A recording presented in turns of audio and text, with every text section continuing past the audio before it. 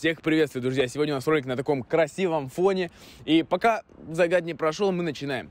Сегодня у нас ролик на тему видов арбитража. Я вам сейчас расскажу, что такое арбитраж, какие у него есть виды, как на этом заработать, вы, вывести прибыль с рынка.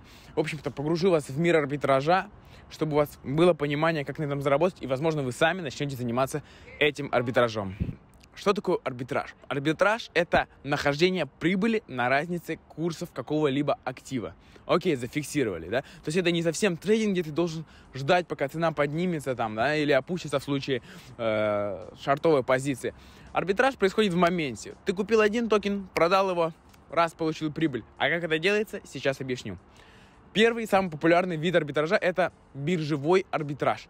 Условно, сейчас приведу простой пример. Ты купил биткоин на одной бирже за 100 долларов условных, перевел ее на другую биржу, этот актив, этот биткоин ты перевел на другую биржу и продал там ее за 102 доллара. Эти 2 доллара, это и есть твоя арбитражная возможность, это и есть твоя прямая прибыль, из которой вычитаются комиссия, затраты на погашение, не знаю, еще каких-то временных затрат, то есть и из этих двух долларов у тебя остается полтора условных доллара твоей чистой прибыли. Это и есть твой заработок с одного цикла. Потом ты опять-таки эти доллары перегоняешь на биржу номер один первую, покупаешь там опять актив, и вот так вот гоняешь, это называется цикл. То есть купил на одной, продал на другой, перевел обратно деньги, это цикл. И вот по такому циклу ты гоняешь, можешь совершать, не знаю, до 10 до 20 перегонов в день, и чем больше ты их совершишь, понятно, тем больше будет прибыль. Зафиксировали. Зафиксировали, получается. Капец красиво, брат. Просто ужас. Второй вид арбитража это P2P арбитраж. P2P переводится как person to person. Что это такое? Сейчас разъясню. Ты как умный, умный инвестор, умный арбитражник покупаешь актив в каком-то месте, где он стоит чуть дешевле, да, условно, допустим, да, за 100 долларов. Опять-таки, какой-то ты актив купил за 100 долларов в определенном месте. Потом этот актив переводишь в какую-то большую биржу, допустим, или на какой-то большой, не знаю, coin sale, где много, большое количество покупателей, да, и продаешь там чуть дороже. То есть, условно, ты зарабатываешь, да, на том, что люди, которые покупают на большой бирже, они не знают просто про место, где ты купил подешевле. Окей, допустим, это будет какая-то более мелкая биржа или, не знаю, у кого-то человека, у друга купил, ну, условно, да, просто привожу пример. И это как раз-таки тоже арбитраж, то есть купил дешевле на одном менее известном месте, продал на более известном подороже, получил прибыль, арбитражная возможность. Эти деньги потом опять на биржу номер один и также гоняешь. Цикл повторяется, ты зарабатываешь деньги. Арбитраж не завязан исключительно на крипте. Есть и валютный арбитраж. Как это работает? Есть несколько стран, то есть это называется межнациональный арбитраж. Допустим, две страны, страна А, страна Б. Человек покупает за доллары валюту в стране А.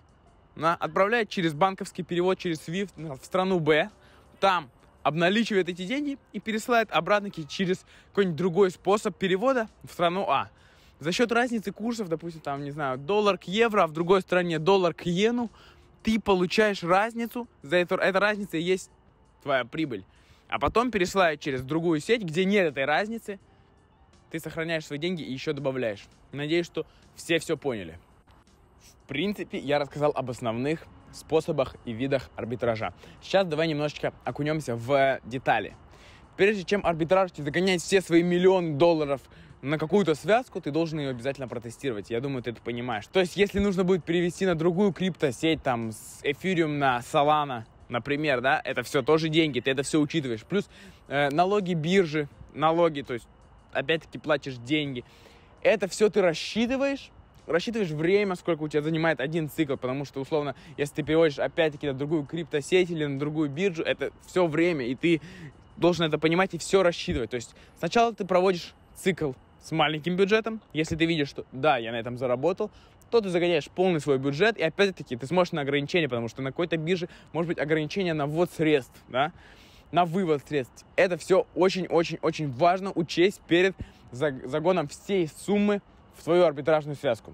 Друзья, торгуйте с умом, арбитражьте с умом. На этом действительно можно заработать. Спасибо, что были со мной. Всем хорошего вечера. Кирилл, твой, твой комментарий по поводу арбитража. Бро, спасибо, очень интересно было. Отлично, отлично. Закат заходит, я тоже захожу. Куда захожу? Правильно, за спину Кирилла.